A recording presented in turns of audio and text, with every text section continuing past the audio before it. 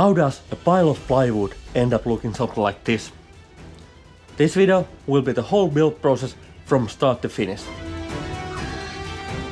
Okay, so I built my first cockpit a couple years ago and it was a really nice setup. But while building it and playing with it I learned a lot of new things and considering I actually really enjoy building this stuff, I decided that I'm going to build a new one and take what I learned and make it better. So last summer I started building new cockpit from plywood and it took me about 6 months to finish the whole build. This video will be the whole build process from start to finished product like this. And if you're interested in the details, each section of this video has actually corresponding separate standalone video where I go into much details of what I'm building and why, why I'm building it. So let's get started and I hope you enjoy. I started the project by making a basic 3D model of my cockpit in Fusion 360 with few variations. And this model is actually available for you to download from my website for free. Just want to mention I did make some changes on the fly. First I started working with the base plates that will be under me. The one under my feet will be actually lying on the floor, so in this case I use just basic butt joints since there, there won't be too much stress on those joints. The part under the chair is going to have casters underneath, so in this case I decided to use half lap joints just for the added strength. So after finding the exact center point, I added my miter saw to the right height, made one accurate cut and then just started chopping wood off. And use some sort of face mask in this case because there will be a lot of dust unless you have really good dust extraction systems, which I didn't have. And after drilling a couple of holes and a lot of cleaning, I took out my silicone brush, which is great with glue, and started assembling the whole thing. In this case the screws are mostly there to just keep everything in place until the glue has dried so I can continue working with the thing. And in this case I also decided to add one extra support to where the chair is going to be attached just to make sure everything stays together. For the base plate I actually decided to use some chipwood that I had left over from my previous project because it's enough and this way I'm going to save my plywood. And this track saw is something I'm going to be using a lot in this project. After a quick assembly, I also added a few casters underneath the, this chair part. And here I also made a major mistake that I'll need to fix in the future. So that's something you're going to see a bit later. But once this part was done, it was time to move on the front panels. Here I quickly realized that I'm going to need some sort of workstations when I'm working with the seats. And while the IKEA table legs are not too sturdy, it got me through the project. A major part of this project was basically measuring everything precisely, ripping the seats with my track saw, then measuring again and cutting smaller pieces, and then cutting again and again and again. I also used the track saw to add grooves slash dados to the bottom pieces. On the hindsight, a hand router would have been much better tool for this part, so I ended up doing some chiseling, but I kind of felt a bit unsure with the hand, hand rotor at, the, at this point.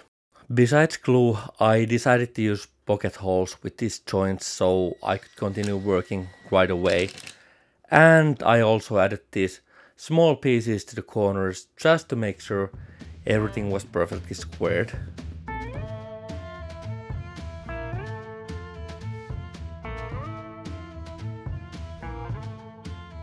At this point I decided to cut away the hole where I would attach the Virpil control panels a bit later and after that was done again back with the assembly and attaching the final panels to the front panel setup. And just to make my life easier, I decided to attach these small pieces separately. So the basic structure of the front panels was done and I would come back to the de details a bit later, but now it was time to continue working with the side cabinets and this was the most challenging part of this whole build. First thing I actually did here was cut a lot of small triangles and I'm actually going to show you a bit later where I'm uh, going to use them.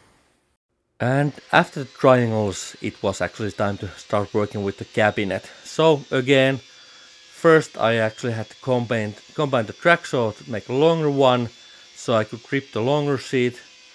Then started cutting the smaller pieces.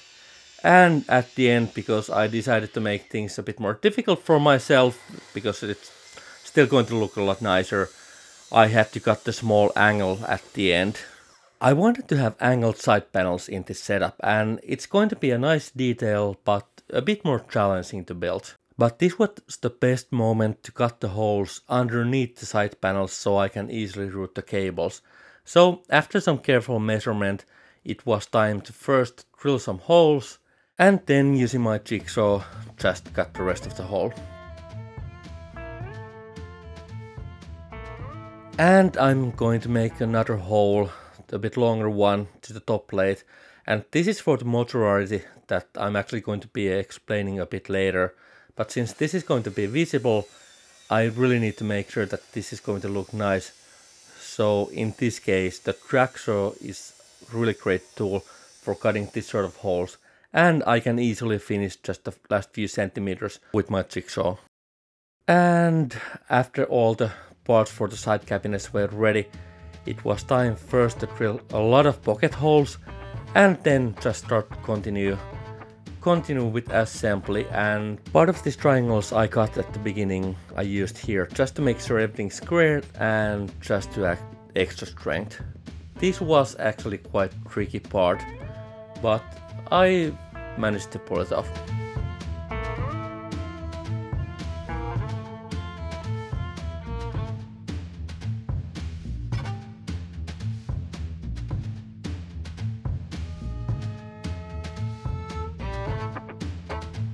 These are the great moments of any build project when things are actually starting to look as they are in your plans.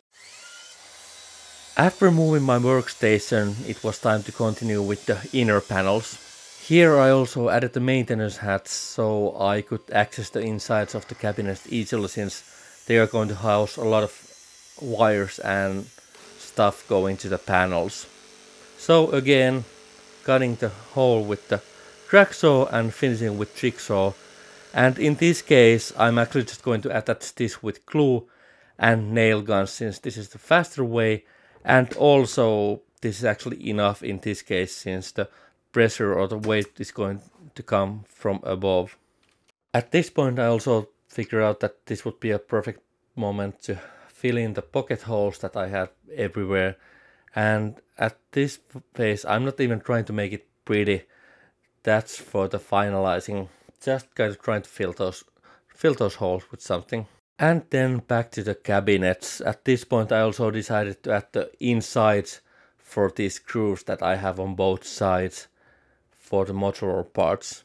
The idea of these side grooves or perhaps channels is that I can have different kind of controllers for different games. So for example in this case I might have the HOSAS set up for space simulators with the left joystick and when I want to change in the flight simulators I can just take the left joystick off and bring the throttle forward and this way I can naturally play flight simulators with the same setup. And finally I added some extra support to the side cabinets because in the end I have two small children so this needs to be able to take the weight of a children jumping on it even if it's something that shouldn't ever happen. And now the side cabinets were ready, it was time to move on with the project and start finalizing the front panels. And here's the access hats to the inside.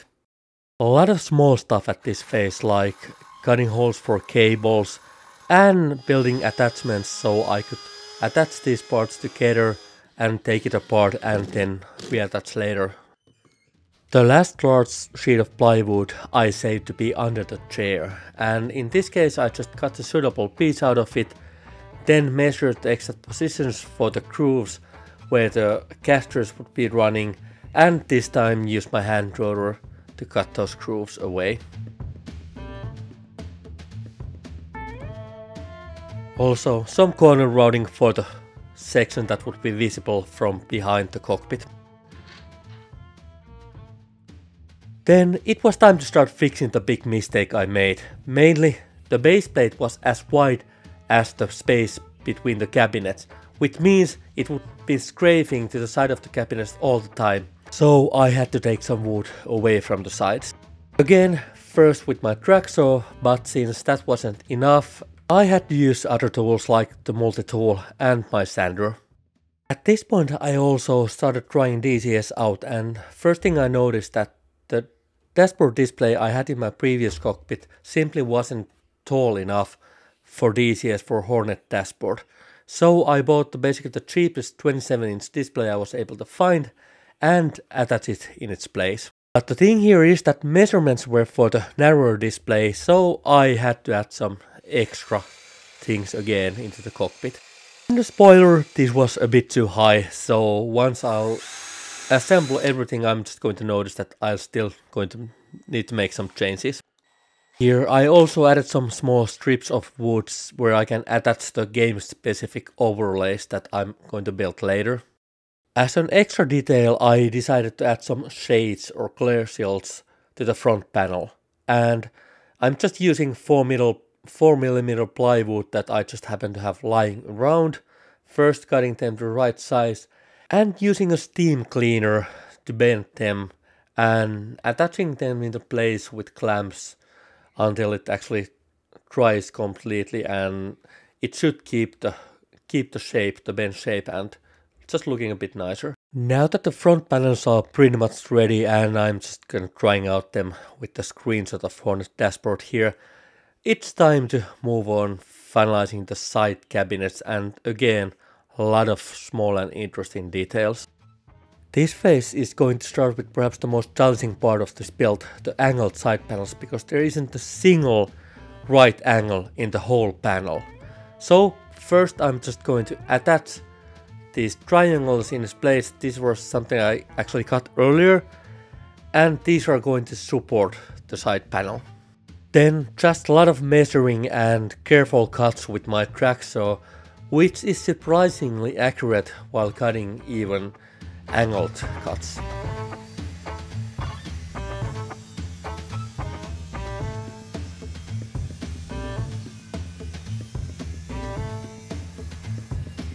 One of the sides had so steep angle that I couldn't cut it with my track saw, so I had to use my table saw and some creativity to get the exactly right angle for that side.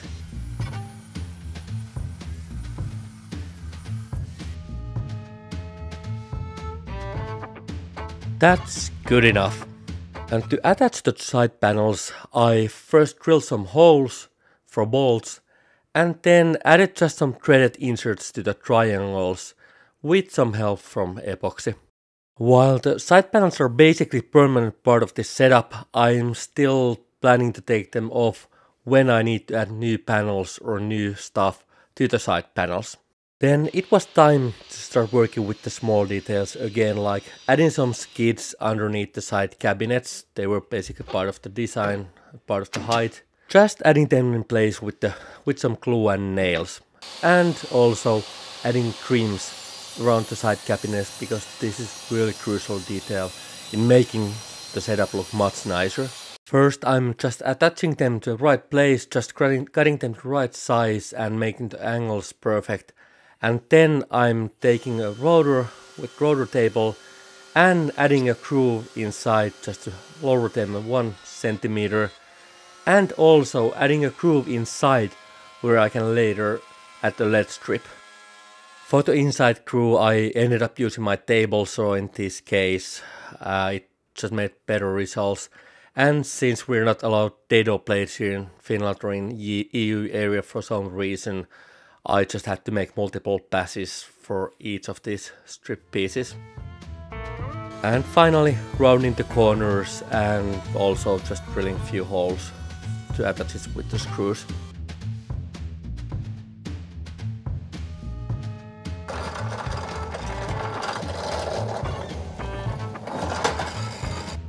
I ended up gluing just the butts together, so in this case I used some cling film just to make sure it wouldn't get glued to the cockpit itself, because I still I'm still going to need to take it off at least for the painting. Then few more important details like the actual modules that I can drop in the slots on the sides.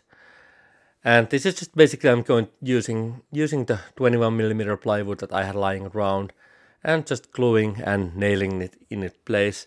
And once it was ready, I could just drop it in place for the future panel designs.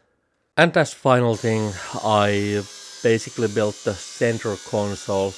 That again is something that where I can switch the switch the panel for different games and drilling in a couple of holes. One important for the cup holder and then just adding this final small piece.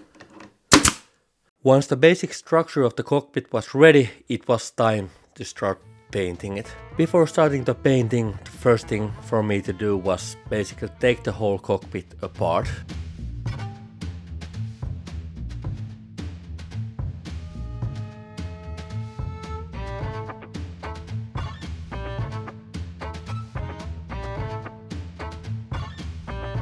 First, I went through all the major scratches and holes and gaps and everything like that with the wood filler before doing anything else. And after I was done with that, it was time for sanding. And this is a phase that there will be a lot of sanding.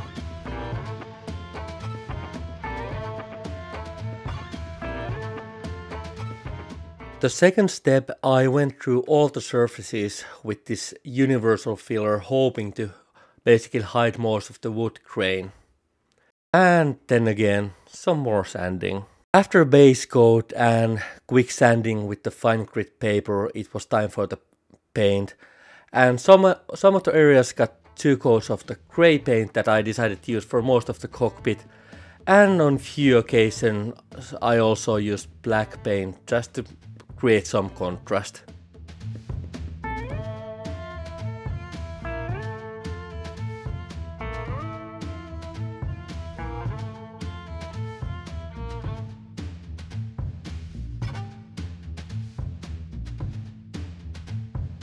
And after the paint had dried, I started attaching the trims in place. And also, since I just happened to have this warning tape lying around, I figured out it would make a nice extra detail for the cockpit. For the assembly, I got some, I guess, extra help from my son here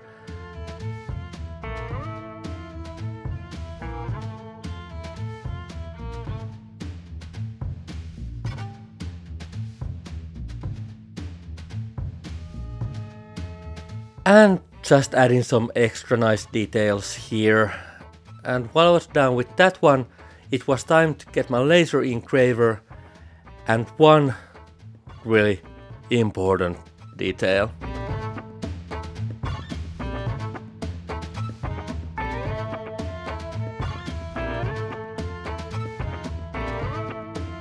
After painting, things really started looking really good and then it was time to start playing with electricity. For the lighting, I'm using a second-hand computer PSU that I picked up for 20 euros, a breakout board for the PSUs, LED dimmer and LEDs. And if you want to get some more details about this setup, you really should watch the episode. My basic process for panel design, like this lighting panel, is that I start with Fusion 360 and design the basic panel with the holes for LEDs behind it. Then I'm actually printing it in white PLA. This is important for the lighting. After printing it, I designed the markings and using LightBurn and my laser engraver, I engraved the markings in the panel that has been spray painted black and this way I will get the markings to come through as white but also they are translucent, so when I turn the lights on, I actually see them lit. And after cutting a hole for the lighting control panel, it was time to just adding the LEDs in place and started soldering and there was a lot of soldering to do in this phase.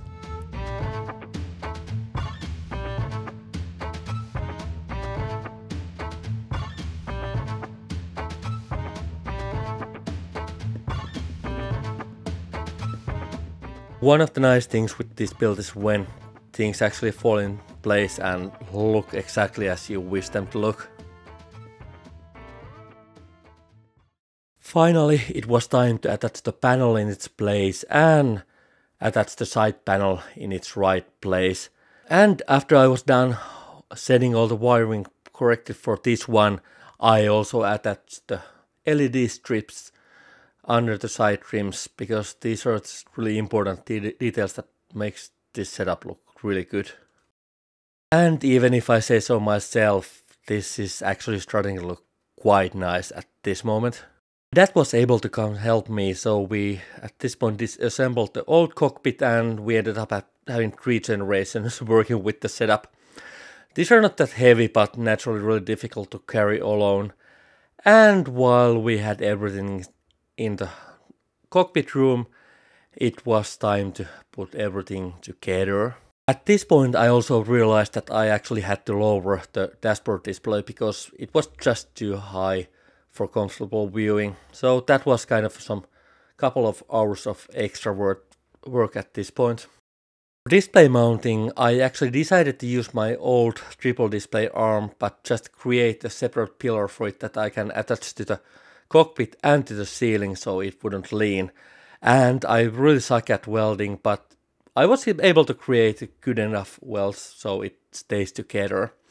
Then I just added in place and add added the displays in place.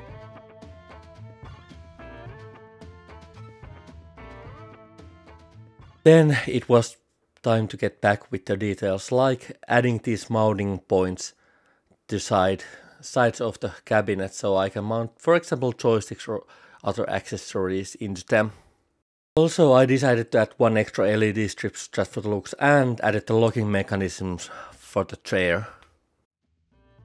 I decided to flush mount my Virpil control panels, so for that purpose I designed and 3D printed kind of these flush mount trims that I can add in place with the existing bolts and then just attach the flush mount trim into the surface. For the keyboard and mouse stands, I actually used old monitor arms that I had lying around. On the left side I added the keyboard and on the right side I added the mouse.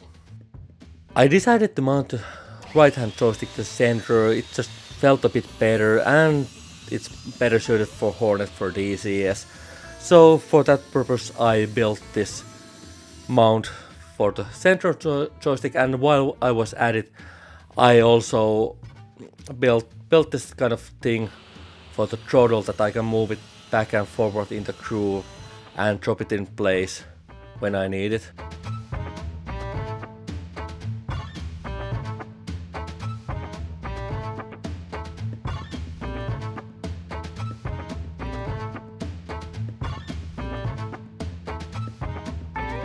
After attaching the center mount for the joystick, I noticed something that I wasn't kind of expecting. I didn't measure it, but I realized that this might happen.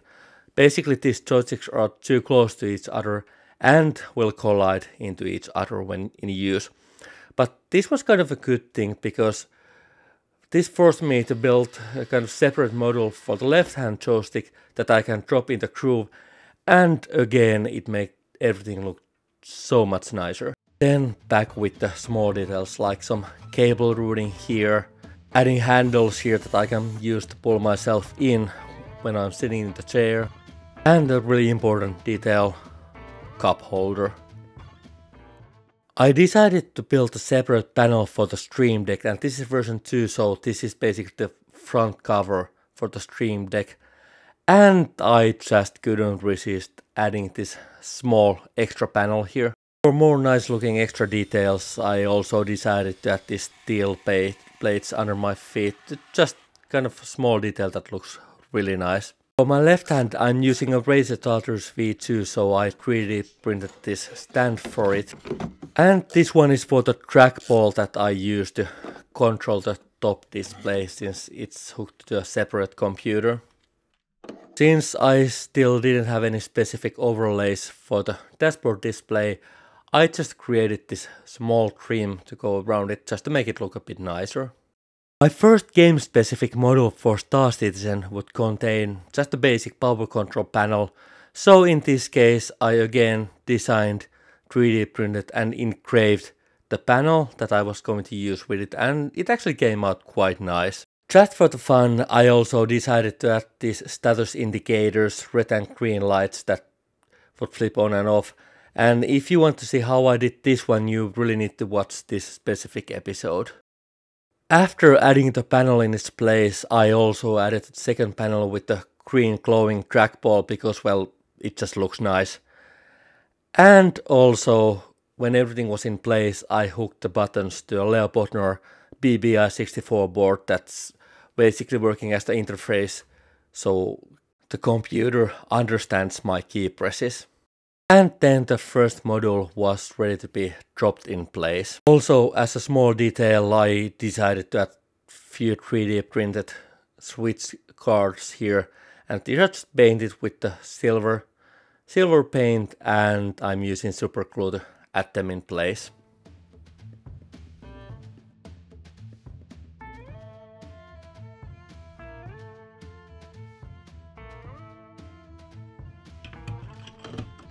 To be able to use mouse for longer periods and for example while editing videos or if I would be playing some FPS games, I actually de designed and built this this mouse tray that I can drop in in place easily and take off quickly if I need to.